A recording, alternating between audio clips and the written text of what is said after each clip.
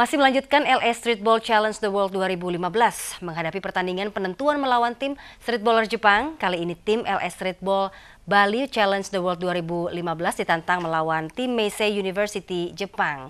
Tantangan dari Meisei University ini tak direncanakan bagi LA Streetball STC 2015 saat tiba di Jepang.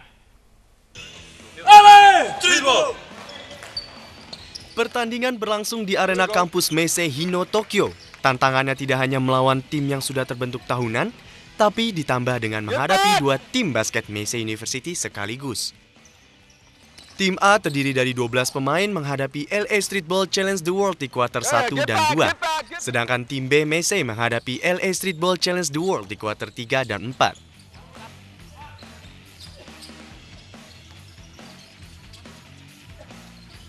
Get back, get back, get back!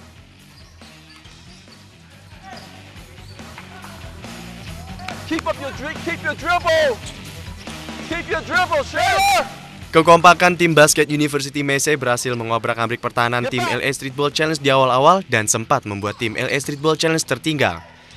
Dengan arahan dari Coach Daniel Rose, Coach Anthony, dan komunikasi antar pemain, permainan tim LA Streetball Challenge The World kian solid dan berhasil membalikan skor di kuarter keempat. Shot clock, shot clock, shot clock! Good!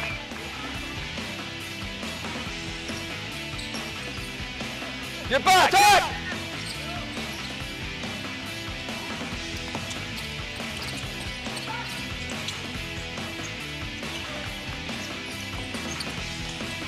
And one!